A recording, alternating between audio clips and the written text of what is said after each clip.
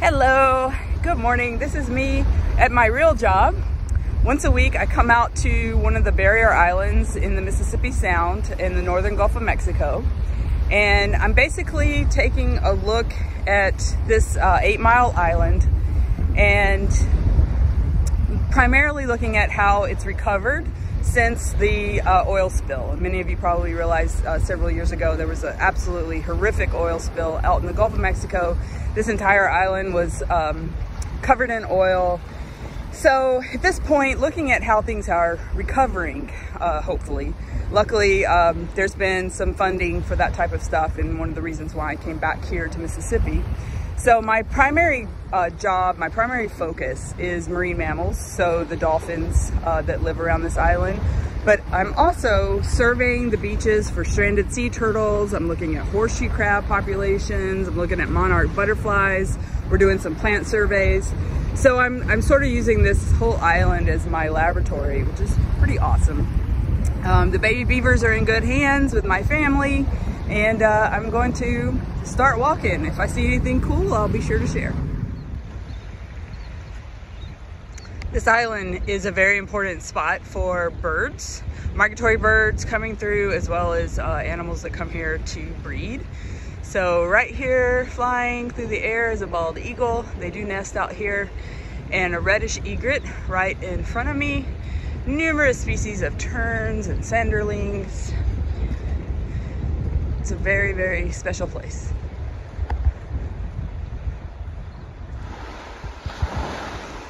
One of the great things about this island is how close to shore the dolphins come.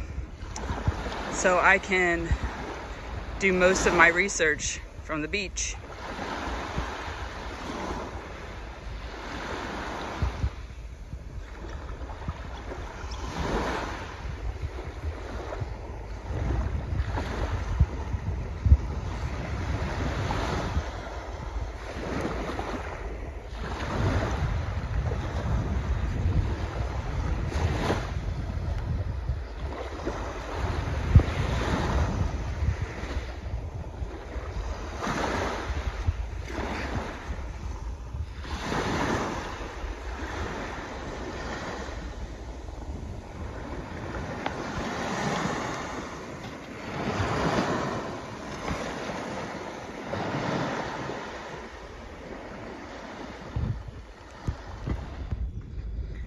This island is called Cat Island and it got its name because French explorers back in the 1600s camped out here and they saw raccoons.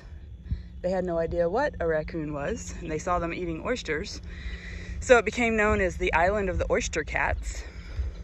And um, which is really funny, but now of course it's just called Cat Island.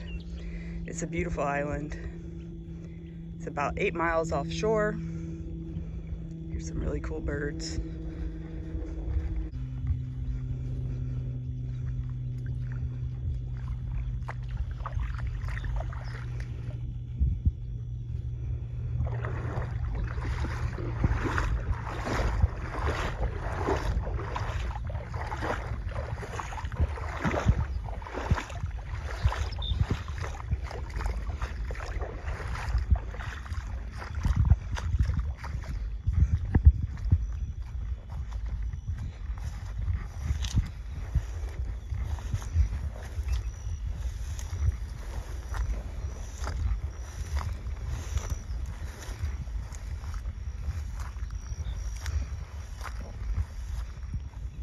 There are still a nice population of raccoons that live out here.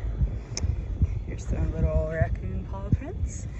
They uh, prefer this marshy area. There is fresh water here and um, they seem to prefer to eat mussels. So here's one of the mussel shells. I would like to dive a little bit deeper into the raccoons here because I suspect because they've been out here isolated for so long that they could be a subspecies of raccoon. They're a reddish, blondish color, so clearly um, from a color standpoint they look a little different.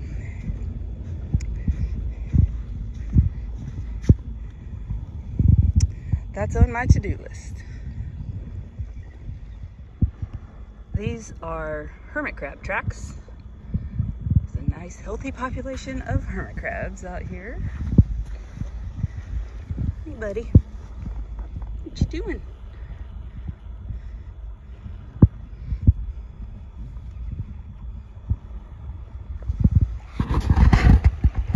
This is a hardhead catfish. It is a species of saltwater catfish. And they're actually really beautiful.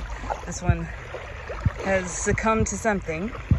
But right here, it's a crazy, crazy sharp fin. They also have very sharp fins here. And dolphins in Florida have been found dead with catfish spines piercing through their esophagus, causing choking. But here in Mississippi, the dolphins, culturally, they've been living here and hunting for so long that they have learned how to eat hardhead catfish because there's a plentiful prey species, although deadly. And what they do is they grasp the head and chop off the vertebra about right here and then they can eat all of this part, which is good. And they leave just the head behind. And dolphins in Mississippi, Alabama, Louisiana are some of the only ones that know how to do this. This is one of my favorite flowers out here in the dunes. It's called square flower. It's a very important source of nectar and pollen for small pollinators out here.